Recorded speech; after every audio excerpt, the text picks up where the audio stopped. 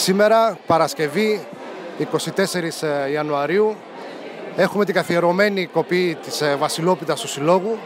Είναι μια ευκαιρία να μαζευτούμε όλοι, αθλητές, γονείς, διοίκηση, να κάνουμε μια ανασκόπηση της προηγούμενης χρονιάς, να θέσουμε τους στόχους της νέας χρονιάς.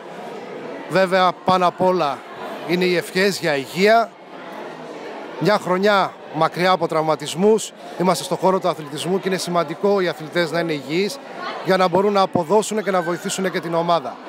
Ο σύλλογος μας φέτος κλείνει 20 χρόνια ζωής, ξεκινώντας αρχές του 2000 στα ανοιχτά γήπεδα της Προσοτσάνης, με κυρίως αγόρια τα πρώτα χρόνια, όμως η κατασκευή του κλειστού γυμναστηρίου ε, έδωσε την, τη νέα όθηση ε, στην ομάδα μας καθώς μπήκαμε σε ένα κλειστό χώρο εκεί ασχοληθήκαμε περισσότερο είναι η αλήθεια με τα κορίτσια δίνοντας μια διέξοδο στα κορίτσια στον αθλητισμό η οποία έλειπε από την Προσοτσάνη και έτσι σιγά σιγά δουλεύοντας με προπονητές τον Πέτρο Δρανόβαλη και τον Γιώργο, τον Γιώργο Κιάκο ε, ξεκινήσαμε αυτή τη μεγάλη προσπάθεια.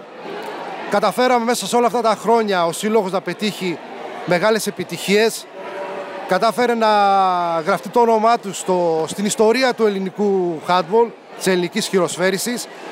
Τα τμήματά μας, ε, κυρίως ε, νεανίδων κορασίδων, ε, παγκορασίδων, έχουν κατακτήσει πανελλήνια πρωταθλήματα. Στα αγόρια οι παιδες πέρσι για πρώτη φορά φτάσανε στις 8 καλύτερες ομάδες της Ελλάδας. Να τονίσουμε βέβαια ότι στα αγόρια είναι πολύ πιο δύσκολο το πρωτάθλημα από ότι στα κορίτσια. Όμως και εδώ έχουμε επιτυχίες. Ε, επιτυχίες για μας είναι το ότι πολλά παιδιά μας τελεχώνουν τις εθνικές ομάδες, νεανίδων, απέδων, εφήβων. Ε, σημαντικό επίσης επίτευγμα με αυτής της ομάδας είναι ότι το Γενικό Λύκειο Προσοτσάνη στα κορίτσια τρεις ε, φορές έχει κατακτήσει το Πανελλήνιο Σχολικό Πρωτάθλημα.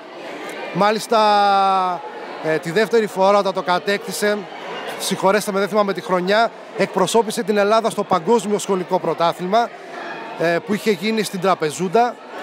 Φέτος είναι πάλι χρονιά που το η χειροσφαίριση θα εκπροσωπήσει την Ελλάδα στο Παγκόσμιο Σχολικό. Στόχος μας είναι πάλι το Λύκειο να διεκδικήσει την πρώτη θέση και να συμμετέχει σε αυτό το Παγκόσμιο Σχολικό Πρωτάθλημα.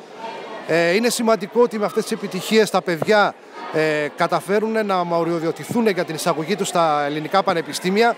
Είναι πολύ σημαντικό αυτό γιατί είναι παιδιά τα οποία πέρα από το διάβασμα στο σχολείο ξοδεύουν πολλές ώρες, μα πολλές ώρες στο γήπεδο, υδρώνουν πραγματικά για να είναι ε, συνεπείς και στον αθλητισμό ε, και βέβαια στο, στο σχολείο, στα μαθήματά τους.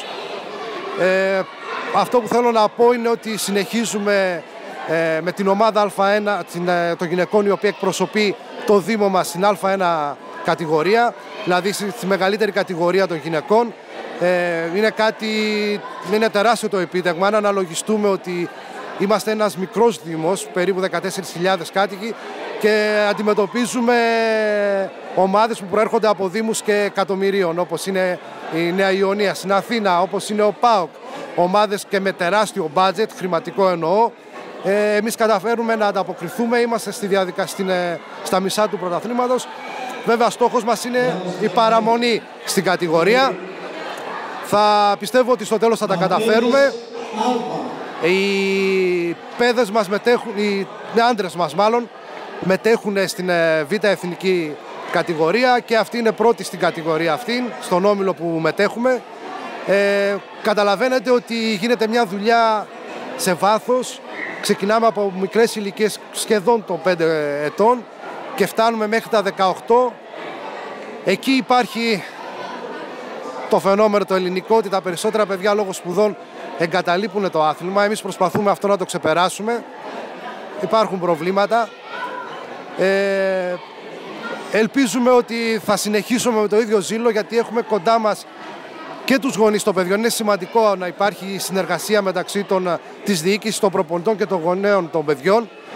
Ε, εμείς το έχουμε, αυτό το έχουμε πετύχει, έχουμε καλούς διάβλους επικοινωνίας, οπότε νομίζω ότι θα συνεχίσουμε με το κέφι και τη χαρά που μας διακρίνει ε, την πετυχημένη μας πορεία.